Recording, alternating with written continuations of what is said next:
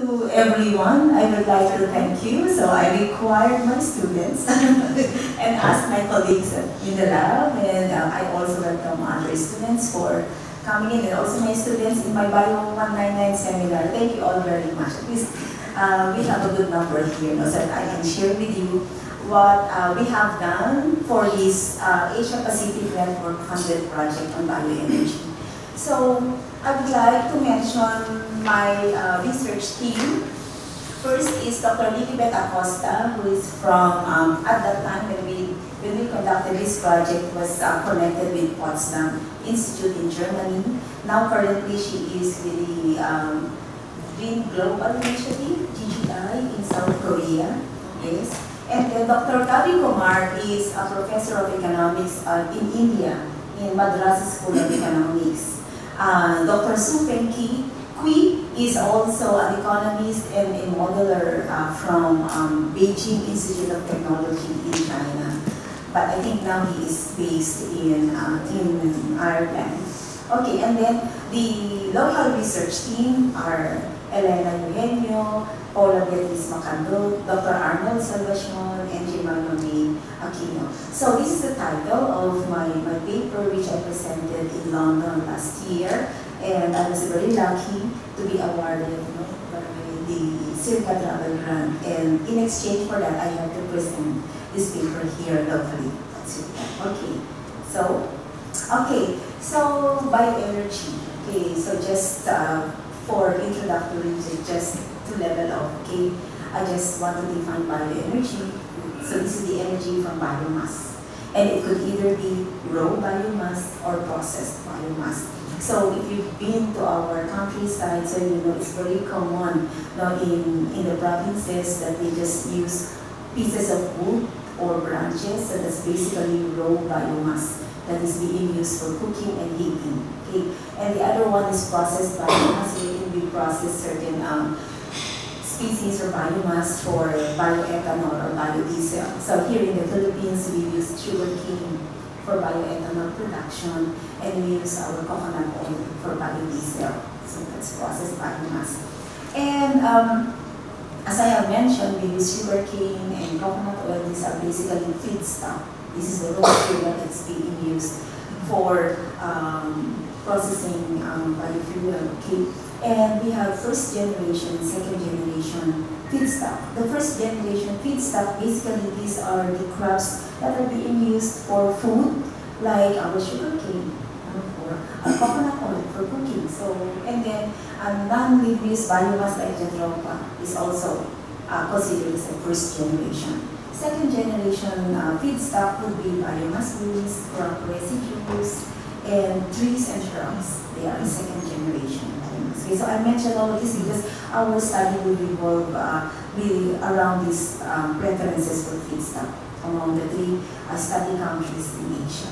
Okay, so policies promoting bioenergy has different uh, focal objectives for different countries, but these four are the most common for climate change mitigation, rural development, energy security, and for trade and economic growth. Okay, so this one I just want to show you the global production. So for bioethanol since 2001, it has increased from 20 to 50 in, and in 2014, 94 billion liters of production globally.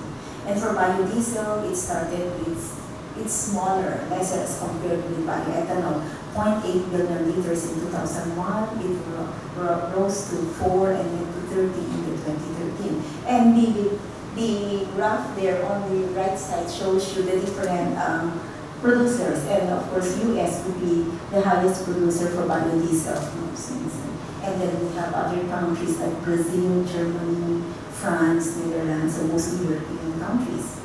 Okay, so, and uh, in most of um, these countries, um, it's the security for energy. Energy security is one of the most often cited policy objectives for bioenergy development. Okay, because yeah, we experience that we have these public concerns on energy security due to short-term volatility of prices. So you will always see that in the news that tomorrow the price of our oil will increase, and then the next day, and then let's, let's say next week there's a, a decrease, but then the following day there is a, again an increase in the prices. So it's really very volatile.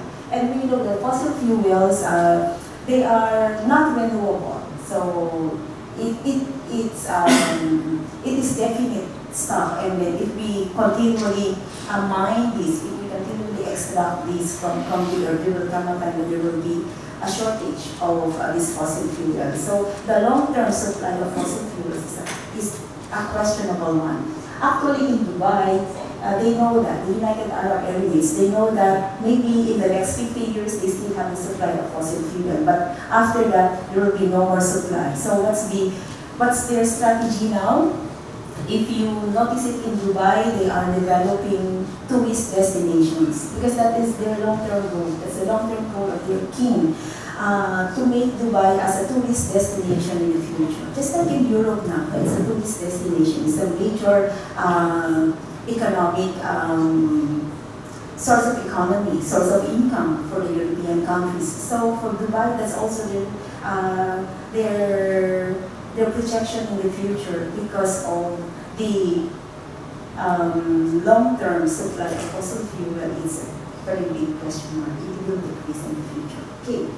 And we know that um, this long-term supply of fossil fuels uh, will destabilize the economy because if do not have fossil fuel, then uh, the economy, the factories, the cars, we won't have um, fossil, we won't have fuel for them. So that's why alternative um, energy sources it's a big thing in most of the countries, not only developed countries, but also economies in transition as well as developing economies. Okay, so Global bioenergy trade is not limited only for biofuels, but also feedstock. Okay, so like in the Philippines, we export feedstock, okay, but not the, the biofuel. And you know, when you just export the unprocessed feedstock, uh, you you have only very little profit. Whereas if you if you export the processed one, you have a greater margin for profitability.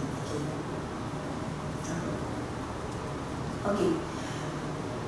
Now, on the other side of the coin, bioenergy trade also has undesirable impacts, not only on specific communities due to social displacement. Why social displacement? Because, for example, this area is being um, used by, let's say, the local communities for, let's say, agroforestry system or for their cropping system.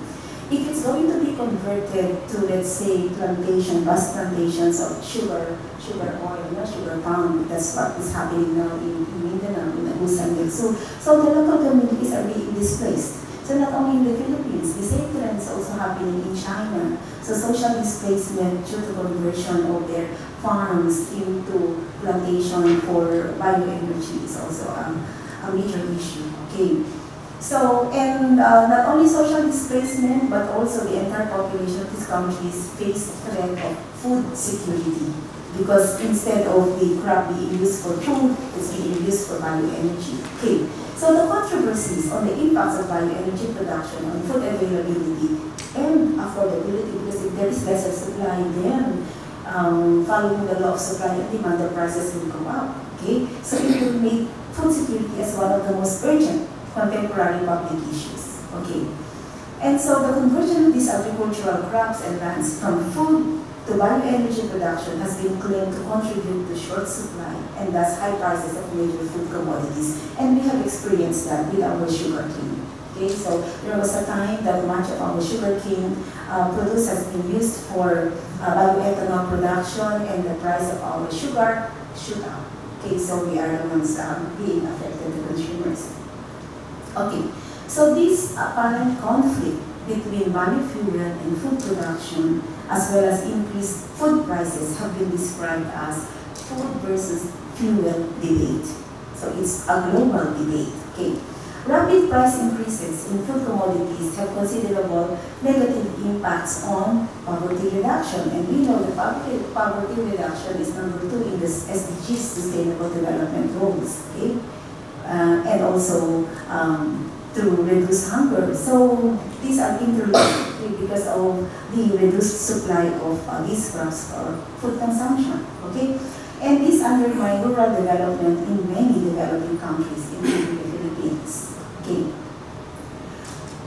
only the first generation bioenergy feedstock is often considered to cause a direct competition with food production. So that further development of advanced fuels from any inedible, which means say second, okay, uh, second generation, and is being encouraged. But if we take a closer look, the use of such non-food crops, the use of such second generation crops also compete with food for land and water use. Ba?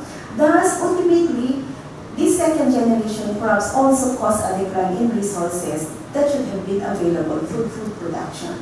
So in either way, that means in either way, kahit first generation or second generation, it would still have negative impact on food production because it will require land resources, water, and other resources to grow these uh, second generation crops. Okay, now this one, I just want to show you, okay, so we just focus on China, India, and Philippines. So for bioethanol production, so for bioethanol production in, in China, corn, wheat, and cassava are being used. And for biodiesel, it's waste vegetable oil. Okay. Here in the Philippines, we do not use our waste vegetable. You know, that's one of my research that I'm thinking of, but then I did not get funding for this. So, but I have already had initial discussion with them. Then, uh, you know, we have lots of Jollibee, KFC, and then, diba, daming, ano, yung, yung wasted oil na yan. So, and then if we can convert that into biodiesel, that's a um, good resource no, for, for us. So, and I think, uh, I think uh, our government should uh, start thinking on using this uh, waste material. Okay, in India, for bioethanol molasses, okay, Jatropha, okay, so that's why we have a big project on Jatropha more than 10 years ago, no, and our uh, university officials even went to India to, to, to learn from the Jatropha uh, growing and then processing of oil from Jatropha, and then on Pampanga. In the Philippines, sugarcane. For bioethanol and for biodiesel, we use coconut oil. So both of, both of these are food crops. Okay, so first generation feedstock. Okay, so going back to my introduction, in addition to land and water competition between fuel and food production, the widespread system of bioenergy production is causing degradation of the ecosystem. Why? Because we have to apply oil, we have to cultivate, we have to apply fertilizer, we have to apply pesticides, we have to, and all of this may lead to a degradation of the ecosystem. Now this photo here is, I got it from the internet, but this is the oil palm plantation in Agusan del Sur in Mindanao. So many of the areas in there are being converted into this monoculture um, planting of um, oil palm. Okay. Now, what else? Agriculture, okay, requires 70% of the total global water usage. Okay, and with increased biofuel production, it is envisioned, it is uh, computed that it can go up to 90%. That means to say, there is a very high requirement for fresh water, no, for for this biofuel and food production. And then there is of pesticides, as I mentioned earlier, fertilizer, okay, are being done to increase land productivity. And this, this will cause also more water pollution. So not only pollution, but it also uh, affect uh, biodiversity. Okay, so if you if your water bodies are polluted with these um, pesticides, it might affect no even yung yung mga um, very young fish and shrimp and other uh, aquatic uh,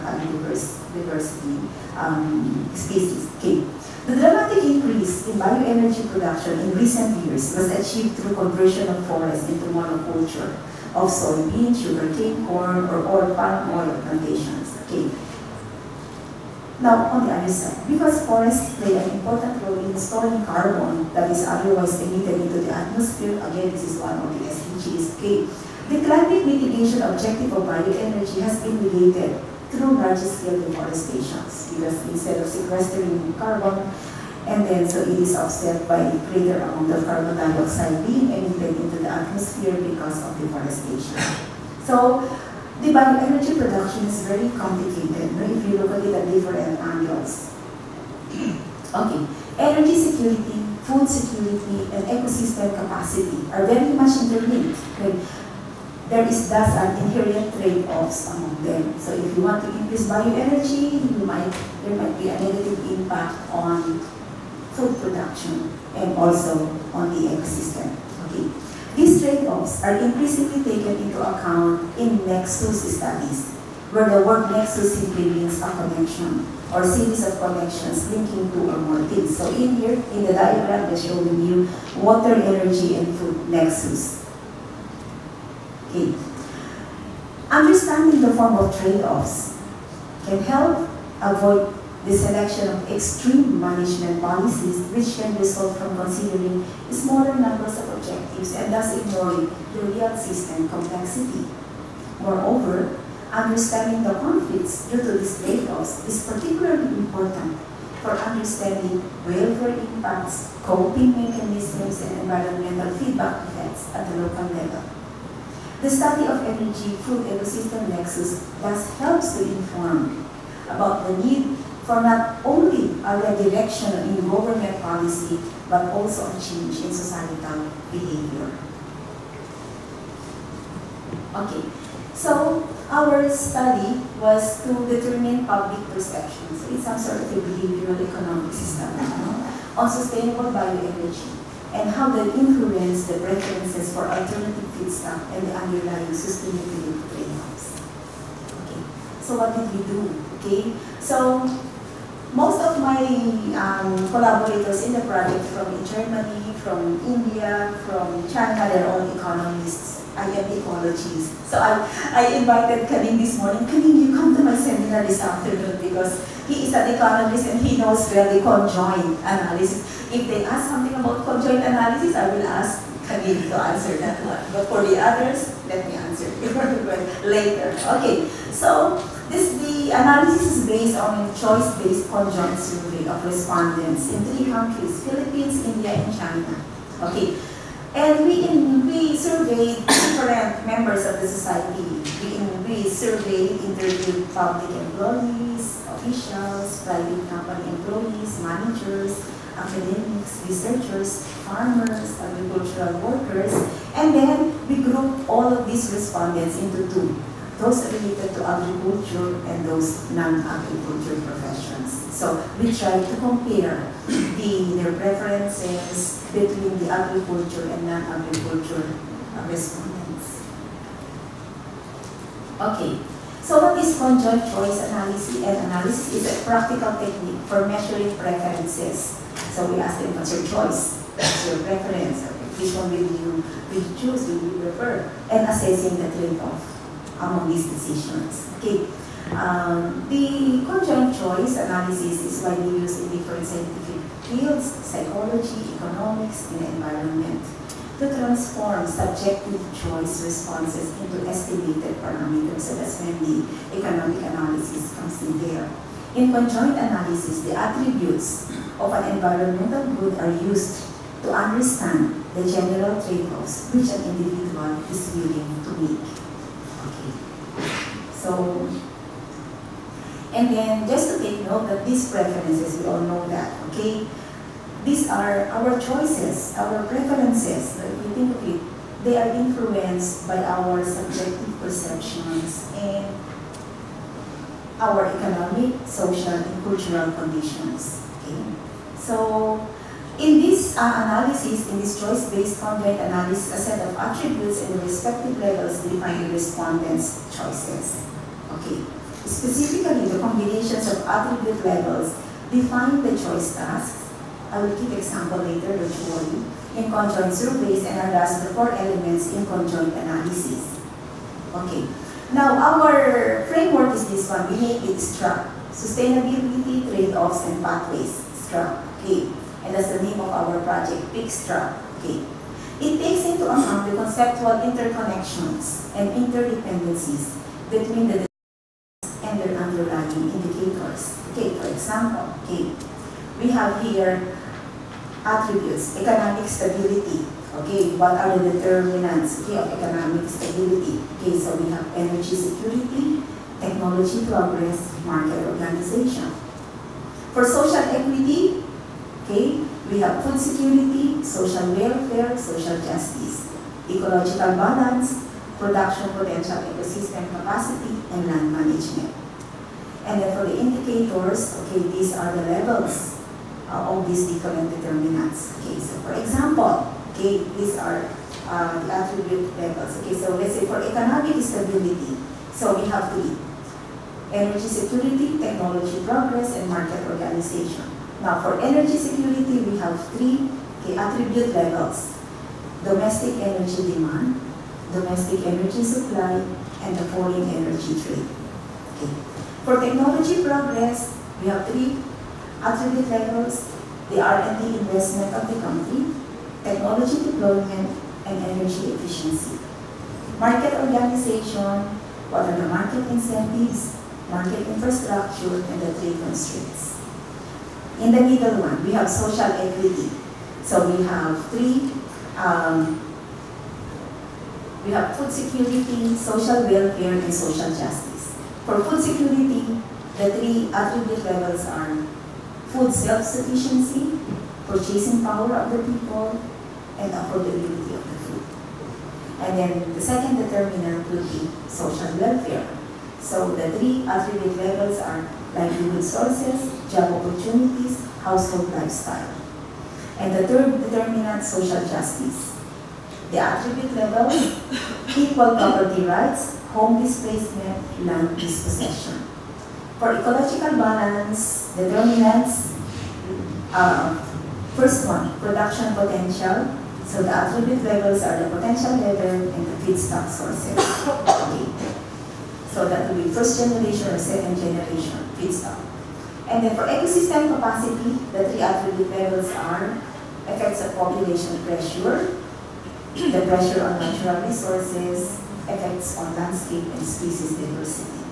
And land management, the three levels, attribute levels are the effects on nature conservation, compatibility with organic farming, and availability of good farming practices. Then, okay.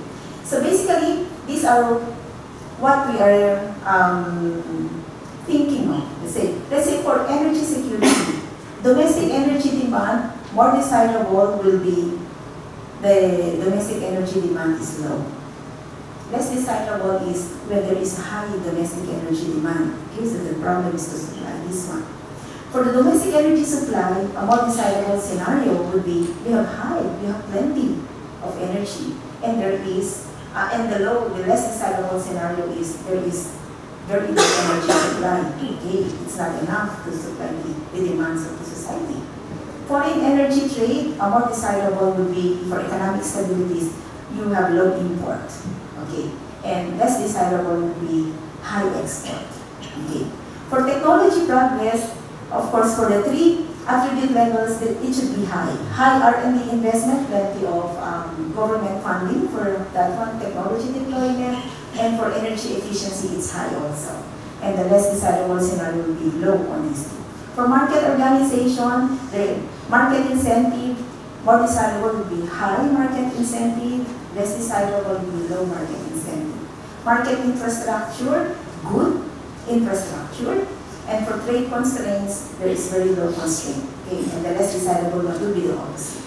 So that's the scenario for economic stability. For ecological balance, potential level, more desirable would be very high potential level, okay? and less desirable would be the low or the very low or no.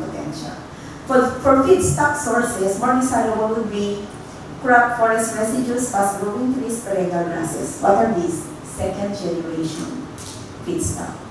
Less desirable is when you use starch-rich crops, sugar-rich crops like our sugarcane, oil-rich crop like our coconut oil.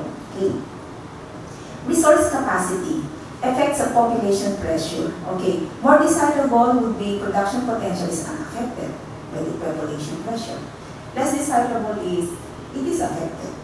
Pressure on natural resources, you put less pressure on natural resources. You can say lesser environmental degradation. If you put more pressure, it will be subject to more or greater environmental degradation. Um, effects on landscape and species diversity, of course, a more desirable scenario will improve the diversity. The less desirable is you destroy or decrease in diversity. Land management, effects on nature conservation, okay, more desirable is that it supports nature conservation. Less desirable is it is in conflict with nature conservation. Compatibility with organic farming, a more desirable scenario is it is compatible. Availability of good farming practices, they are available. Okay, this will be more desirable. And the opposite would be the less desirable ones. Okay. For social equity, food self-sufficiency, purchasing power, affordability, in a more desirable scenario, they should all increase. The opposite will be the less desirable. Social welfare, livelihood sources, job opportunities, they both increase. Household lifestyle, it's improved. Okay, that's more desirable. For social justice, equal property rights, it supports no? equal property rights. Home displacement and land dispossession are prevented. Okay, so okay. So what did we do for our survey design? So in Germany, at Potsdam Research Institute, they have this software, okay, SSI Web Software software. So we just input in there, it is the one who's going to, to make, to devise all the different combinations of determinants and attribute levels for decision making. Okay, so it will construct the choice tasks. Okay, so those are the ones. The choice tasks will be a combination of different uh, choices that they have to, for economic stability, for the environment, for bioenergy, okay? And it will also be the one to prepare the conjoint questionnaire. It's a very good software. Okay. And then it, you just input in there again, we encode the survey data and it will analyze the respondents of the, the responses of the respondents. So it has compute utilities and preference weights. Okay. And then we used several ways, no? because we would like to, to gather more information and to reach more respondents. So initially we used the web platform. With the web platform, we have it online, and let's say for me, I just send email addresses to all my contacts and ask them to uh, answer online. But in India, this the, did not work well, so they had so much difficulty. So what they did was to conduct uh, actual survey. Okay. We did also some actual survey in in Infanta Quezon and also in Lipa, Batangas. Okay. In China, our um, researchers went also to the agricultural community, okay, which is the study site. I will show that one later. Okay.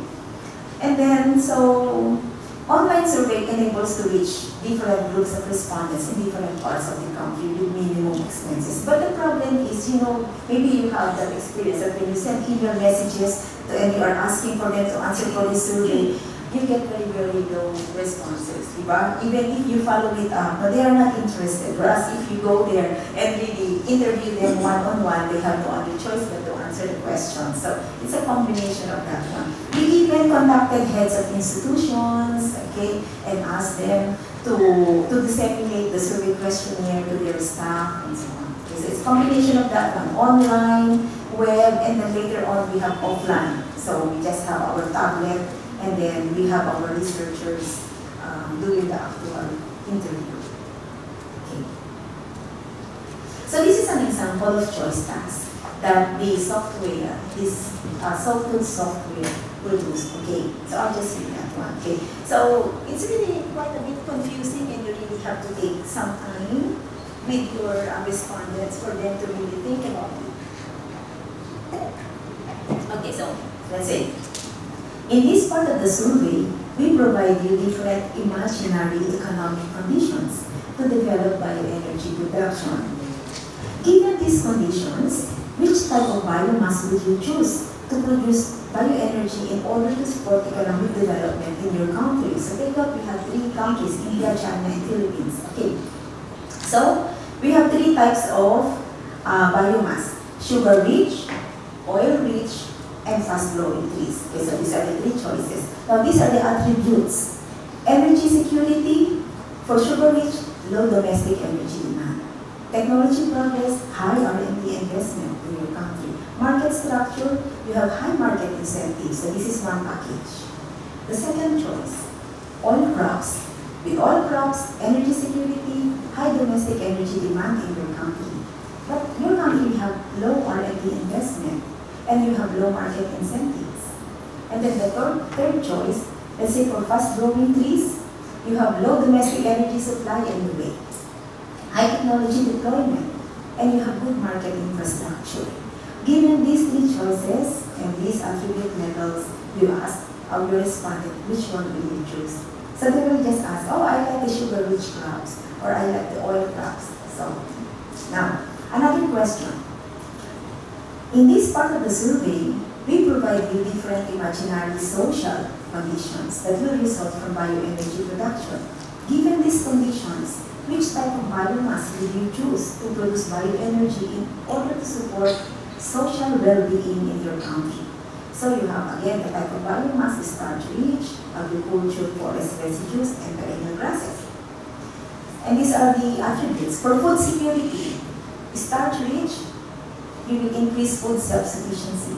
Social welfare, increase livelihood sources. Social justice, it will hinder equal property rights. So positive, positive, this is a negative. No? So, now for this package, for the agriculture forest residues, food security, it will increase your purchasing power. You will have more money to buy food. Social welfare, you will have more job opportunities. Social justice, it will cause home displacement. So, okay, so the respondent will think about it. And then for perennial grasses, it will increase affordability of food. It will improve household lifestyle. And it, but it will cause land dispossession. Now, which of the three will you choose? This is something like this that they will make their preference choice. So that's why it's a choice task survey. Okay. So these different combinations is the software that is making these different combinations. Okay. So we have these three case study areas in China, India, and Philippines. In the Philippines, we have it in Batangas because we have their sugar cane. No? And then in Quezon, Infanta Quezon, coconut. Sichuan in China and Tamil Nadu in India. Okay, more description on that one. So in the Philippines, okay, Batangas and Quezon are the main producers of sugar cane and coconut in the Calabarzon region. Nasugbu, Batangas is the home of plantation of Central Azucarera de Don Pedro, the Philippines' largest producer of sugar and other sugar cane products. In Infanta Quezon, uh, three biofuel processing plants are are installed or developed in there with total capacity of 140 million liters per year when we conducted the survey. In India, so here photos of Jatropha cultivation. That's the main source for the So India, okay, so we picked Tamil Nadu because farmers are cultivating Jatropha. Tamil Nadu which is located in southern India, is one of the earliest states to have promoted biofuel promotion in India. Okay. It has the largest cultivator of jatropha in India with more than 20,000 hectares cultivated with jatropha. And then in China, our study area is Cook County in the province of Sichuan. Okay, it's an agricultural community. Uh, it's a least developing area in China and then in this one, in the recent years, a number of biogas pools have been constructed in Muji, which uses pieces of crop residues to produce electricity. Okay. Or Okay. Now, the results of our study. Okay. So how many respondents will be able to ask to answer the question? For the Philippines, we have about 250 150 are from agriculture-related professions or farmers. Non-agriculture related, we have 100, academic, researchers, uh, NGOs. Okay. India, 90 and 70, China, 52 and 160. It is very difficult not to get respondents from India. Our collaborator Dr. Gani, has so much difficulty. okay. These are some of the demographic characteristics of the respondents. For Philippines and China, majority of our respondents are below 30 years old. They are quite young. A few will be, this one will be high level of emissions. In India, most of them are between 41 to 50, so they are a bit older. Okay, and most of them are farmers. Okay. For education, okay, so Philippines, most of them would have higher level of education, okay, undergraduate and graduate degrees. The same thing also in uh, in China for the non-agriculture. But for the agriculture, they are mainly farmers in the in the rural areas, in grade school only. For India, they have also high level of education, similar to to the Philippines. And then for gender, for Philippines, we have almost balance no, between male and female for both agri and non-agri sectors. In China, it's about two-thirds would be male, one-third female. But in India, majority are males. Nine more than 92% of respondents for both agri and non-agri. Okay. Domicile, since in, in China, most of them are farmers, so many of them are in the urban, uh, no, in, sorry, here in farm agriculture, 63%. For the Philippines, we have a majority um, in farm and agriculture, but also in urban uh, or city setting. The same thing with India place of work, so we try to have a good balance no, from public agency, private NGOs, field, farm, academic research, okay, for the three countries. Okay, now, okay, now this is very important finding, okay, knowledge and sources of information on bioenergy, okay. Familiarity with the term bioenergy. Are you familiar with this one? Okay, so in the Philippines, for both respondents, for both groups, very high familiarity with bioenergy. In India, they are even more familiar, 100% probably because of this, um, um, subject profile. And China, for the non-agri, 63%, but for the agricultural, for the farmers, they are not very much familiar with bioenergy. They're just concentrated in their farming. Okay, work, is your work related to bioenergy? Okay, so in the, in the Philippines, for the agri sector, only 28%. But in India, they are sure yes, more than 90%. In China, they are also not sure. So they are not aware or maybe they just do not care if it's related to bioenergy. Okay. Bioenergy affects food security. In the Philippines, our uh, group from the agri sector, 62% of it, yes, it affects food security, bioenergy. For non-agri, only 40%. Okay. In India, 50%. In China, for the agricultural sector, they are not aware that bioenergy has an impact on food security. For non-agri, about 50%. Bioenergy is good for your country. All respondents from the three countries, yes, said yes, they are aware that in the future we have problem with fossil fuels and the bioenergy will be good for the Sources of information in the Philippines and also in India, mostly academic science will be high, and also media. In China, it's family for the farmers in the community. Okay? And uh, for the non-agri, okay, the academic science will be a of information about bioenergy. Okay, with regards to perceptions on the contribution of these different energy sources and types of biomass, feedstock to economic growth, okay, by country, so Philippines. So we have here the agricultural related respondents and the non-agricultural. First generation, it means to say our food crops being used, okay. Now for the oil-rich crops, so we have, so take note for the colors. Blue is low, low perception, medium, very high, they regard it as high contribution, very high contribution for the purple and the other blue here do not know. So take note, in the Philippines, for the non-agricultural sector, we have here very high for the oil-rich crops, and for the agricultural sector, we have here high and very high. So our respondents that are agriculture related, they have very, very high perception. They would say that uh, the oil-rich crops, particularly our coconut oil, okay, has a big contribution in our bioenergy because it's a main source for our biodiesel. Okay. Second generation, okay, so we have here very high for fast-growing trees. So not agriculture, they would prefer okay, fast-growing trees as source of bioenergy. And then for the others, high for farm, farm forest farm or forest residues, fast-growing trees, and perennial Now, in India, okay, so for them also, they have very high, okay, uh, perception about the oil-rich crops. That is because of Jatropha. In their country, the agricultural-related respondents are very much aware of the importance of Jatropha, oil-rich crop. For the non-agricultural, we do not have much okay, um, uh, preference for these different energy sources. Meaning they do not care, maybe, they do not, not very much aware of the importance. And for the second generation, okay, so they also have, except for the fast-growing trees, in agricultural, they say it's hard, okay? But then in other areas, they, they have a very low perception. In China, okay, so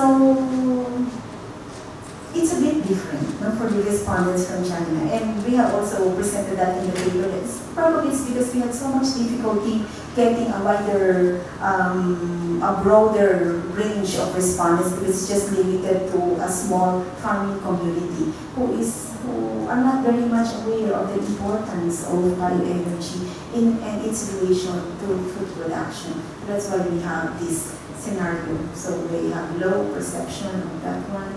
And uh, except for the second generation for the fast growing trees, so it has high preference for the non-agricultural sector.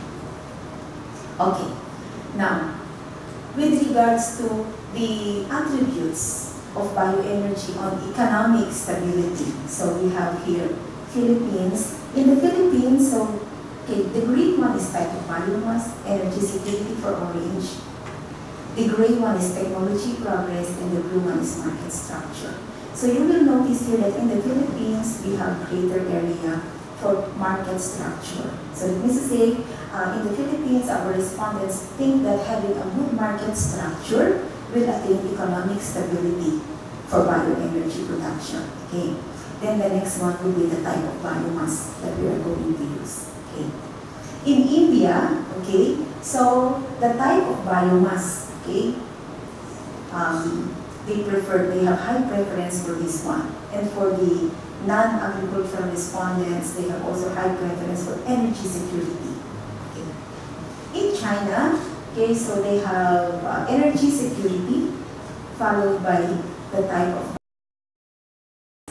um, as the uh, major attributes to attain uh, bioenergy sustainability in terms of economic stability. In terms of social equity, okay, in the Philippines, so we have here the green one, social welfare. So it is actually higher for the non-agricultural uh, related respondents. So social welfare followed by food security. These are the major attributes. Okay? For the respondents from, from India, the type of biomass and food security are the major determinants. And then for China, they know it's more of social justice and social welfare. That is because they are mainly concerned with, so, with their social displacement, with the conversion of their agricultural farms in, for food production to biofuel production. Ecological balance, okay. In the Philippines, our respondents would uh, have, they have high preference for land management and ecosystem capacity. Okay, actually, production potential is also high. This is almost balanced no, for the three. Okay. In India, again, you have high preference for type of biomass. In China, land management and ecosystem capacity are major um, uh, attributes that they, that they have high preference in terms of ecological balance. Okay. Now, okay. Now this is a radar diagram to integrate the those different preferences, okay, uh, from the three countries. It's, it, we can easily compare. So basically, when you look at this radar diagram, you just take a look at which leg uh, is longer. So like for example, for the green one, that is China. For, we have the three um, points here, three corners, ecosystem capacity, energy security, and food security. So these are for the agriculture-related respondents. So from China, okay, they put a much higher weight for energy security. So it's a major concern for the Chinese respondents, energy security. Okay. For India, it's more for food security. Okay. And for the Philippines, the blue one, it's both uh, food security and also ecosystem capacity. Now this is the respondent, the scenario for the agricultural related respondents. How about the other group? that are not related to agriculture. Okay? So the orange one, again, is for India. Again, even from this group, food security is a major concern. Okay? The green one for China is energy security. And for the Philippines, it's again food security for the non-agricultural. So you see, we can take a look here, we can compare the different preferences of the different respondents from the different countries. No? Others would prefer more for food security. For India, it's more of energy security. And for the Philippines, since we are, we are also very much concerned not only for food, but also for ecosystems. Um, uh, stability, you know, because we know that our country, uh, we have so much environmental degradation, soil erosion, flooding, and so on. So ecosystem capacity is also a major concern for the respondents from the Philippines. Okay, so in conclusion, the results of the conjoint analysis indicated that the preferred bioenergy feedstock and its role in sustainable development reflects the social and economic concerns in the respective Asian countries. That is, energy security in China, they really require high energy because of the much fast development. Food security in India, okay, because you know, yeah, food is really scarce in India. And ecosystem degradation in the Philippines. Overall, there is also significant awareness on the effects of bioenergy on ecological balance not only in the Philippines, but also both in India and China, as revealed by the references on the determinants such as ecosystem capacity and land management. Okay. The high preference for energy security, as in the case of China, may thus overshadow other sustainability issues such as ecosystem degradation, because I must prefer energy. Okay. Thus, policy should carefully weigh the impacts of bioenergy development on sustainability issues that are closely interlinked, the energy food ecosystem nexus. Because the society may favor one or two sustainability issues at the cost of another issue. That is the trade-offs. Okay? And then I just got this one, the water energy food nexus. So we have here the energy, food, and water. So for uh, sustainable uh, people, landscape, and ecosystems, there should be a balance. So the policies should really take a look into this. Like for example, here, the entry point here for energy security, governance, and investment. Okay, so for energy, so we have here demand, supply, and assets. Okay, now our food here, okay, so food production, processing, and transport need energy. So that goes to the food production. Okay, so fossil fuel extraction, energy crops, and carbon sequestration impact food supply. Okay, so the entry point here is food security, what will be the policy, government policy, and investments. Okay, so that we, so that it can have, it can meet the demand, you know, the supply can meet the demand, and you still have assets for food production. So water infrastructure and uh, use impacts on fish stocks, food supply, and land use. Then we have here water, okay? Water, we have demand, we demand supply and access. Okay, food production needs clean water and impacts on clean water quality and availability. Okay, so because you know, food, fertilizer, pesticides, it can pollute the water resources. Okay. And then, in, so the entry point here for water security would be management and investment. Okay. So we have here, so water, we have demand, we supply assets, and then we go to this one, energy production, including sequestration, needs water. And impacts on water quality and availability. So that's why for sustainable development, we really have to consider this water, energy, food nexus. Okay. I think that's it. And if you're interested, we have published already this paper, so you can you can take this from agriculture in 2016 the role of bioenergy in enhancing energy, food, and ecosystem sustainability based on societal perceptions and preferences in Asia. So thank you very much.